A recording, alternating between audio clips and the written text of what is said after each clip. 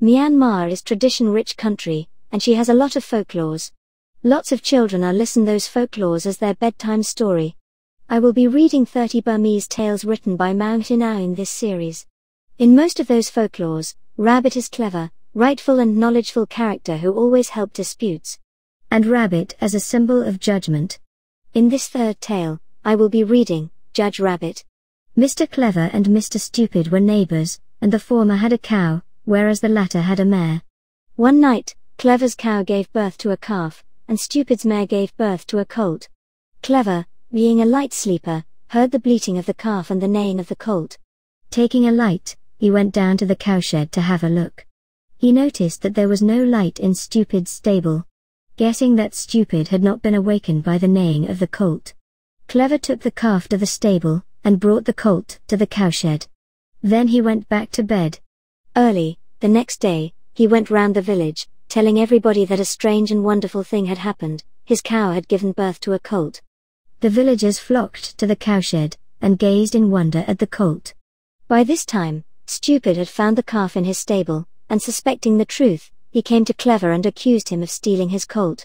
Clever denied, maintaining that by a strange freak of nature, his cow had given birth to a colt. But what about the calf in my stable? Asked Stupid indignantly. By a strange freak of nature also, suggested Clever sweetly, your mare must have given birth to a calf. Stupid appealed to the neighbors, who however admitted their inability to decide the dispute. So Stupid asked Clever to go with him to another village to find a judge. On the way, they met the rabbit and asked him to act as judge in their dispute. With pleasure, replied the rabbit. Stupid and Clever explained what the dispute was, and the rabbit said, I am busy now, but will fix a date for your case. I will meet you in your village at sunrise on the morning of the seventh day from now. Be ready with your witnesses. Stupid and Clever thanked the rabbit, and came back to their village. On the appointed day at sunrise, Stupid, Clever and the whole village assembled to await the coming of Judge Rabbit. The sun rose higher and higher until it was noon, but there was no Judge Rabbit. Noon passed and still there was no Judge Rabbit. It was only at sunset that the rabbit appeared. As it was so unusual for the rabbit to break his word, the villagers could not help asking why he did not come at the appointed time, although in ordinary circumstances they should, out of courtesy, have asked no questions of a judge. I am so sorry, replied Judge Rabbit, but I was delayed by an accident.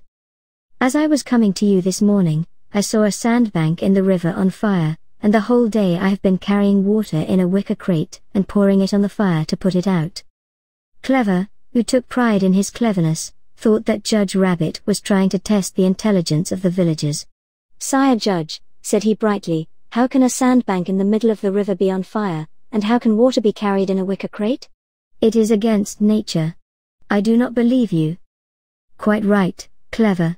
Replied Judge Rabbit calmly, how can a cow give birth to a colt, and how can a mare give birth to a calf?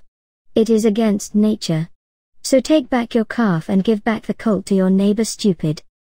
The villagers applauded the decision of Judge Rabbit, and from that day onwards they always chose the rabbit as their judge in all their disputes. That is the end of the tale, Judge Rabbit. Read by me Emma, Timbre Music Channel. Please subscribe the Timbre channel, and click the bell button to know when we upload new video.